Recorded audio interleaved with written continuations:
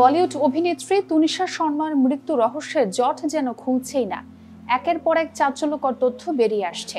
এবার পুলিশের হাতে একটি সিসিটিভি ফুটেজ এসেছে, যেখানে দেখা যায় সদ্য প্রয়াত তুনিশার সঙ্গে প্রেমিক সিজান তর্কে জড়িয়েছিলেন। এর আগে তুনিশার একটি নোট উদ্ধার করে পুলিশ। ওয়ালিফ পুলিশ অভিযুক্ত সিজান খানকে নাইগাঁওয়ের টিভি সিরিয়াল আলিবাবা দাস্তানে কাবুলের সেটে নিয়ে যায় এবং তদন্ত চালায়। তল্লাশির সময় সেটে একটি চিরকুট উদ্ধার করে পুলিশ।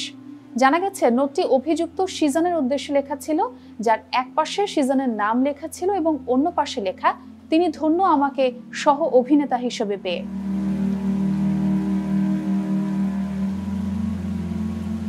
চব্বিশ ডিসেম্বর বিকেলে মুম্বাইয়ে সিরিয়ালের শুটিং সেটে নিজের মেকআপ রুম থেকে উদ্ধার করা হয় অভিনেত্রী তুনিশা শর্মার ঝুলন্ত মরদেহ। তুনিশার মার অভিযোগ, সিজান মাদক সেবন করতেন এবং মৃত্যুর আগে তুনিশার সঙ্গে প্রতারণা করছিলেন সিজান। পরেই তুনিশাকে আত্মহত্যার প্ররোচনা দেওয়ার অভিযোগে প্রেমিক সিজান খানকে পঁচিশ ডিসেম্বর গ্রেপ্তার করে পুলিশ। এরপর পুলিশের জিজ্ঞাসাবাদে সিজান জানায়, তিনি এবং তুনিশা একসঙ্গে অনেকগুলো সিরিয়ালে কাজ করেছেন। তাই কাজের সুবাদে প্রেমের সম্পর্কে জড়ান দুজন। তবে সেই সম্পর্কের ইতি টেনেছেন পনেরো দিন আগেই।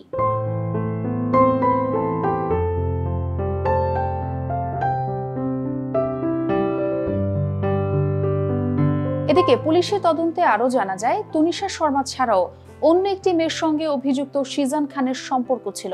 তুনিশার আত্মহত্যার দিন ফোনে সেই গোপন বান্ধবীর সঙ্গে দুই ঘণ্টা কথা বলেছেন সিজান। পুলিশ এ পর্যন্ত মোট তিনটি মোবাইল ফোন জব্দ করেছে, যার মধ্যে একটি সিজানের। একই সঙ্গে তুনিশা ও তার মায়ের সঙ্গে অভিযুক্তদের হোয়াটসঅ্যাপ চ্যাট খুঁজে পেয়েছে পুলিশ। সিজান এবং সেই গোপন বান্ধবীর মধ্যে চ্যাট মোবাইল থেকে মুছে ফেলা হয়েছে এবং পুলিশ তা উদ্ধারের চেষ্টা করছে। মুছে ফেলা চ্যাটের ভিত্তিতে আরও জিজ্ঞাসাবাদের কথা রয়েছে। এদিকে জানা গেছে, তদন্ত কর্মকর্তা আসামি সিজানকে লক থেকে বের করে নিয়ে দিনে কয়েকবার জিজ্ঞাসাবাদ করছেন, কিন্তু তিনি প্রশ্নের সঠিক উত্তর দিচ্ছেন না, বরং ক্রমাগত তার বক্তব্য পাল্টাচ্ছেন।